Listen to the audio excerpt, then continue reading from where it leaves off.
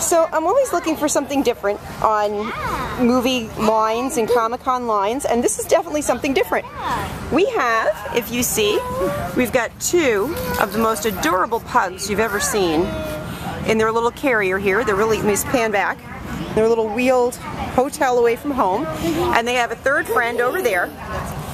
And they have a whole crew here with them. So I just thought I'd ask how, um, so how many conventions have you brought, or how many lines have you brought the um, dogs out for? This is actually their first time This is their first time out here in line. in line. in line. Third conference here in San Diego. So this is their third conference in San Diego. So they're, they're this is routine for them. They're used to coming out and doing Oh this. yeah, they've actually gone all over the United States and other conferences and meetings with us. That's amazing. Well, they certainly don't seem to mind the attention. They don't seem to mind the crowds. They're really, really friendly. I think these guys are Team Jacob, but you know.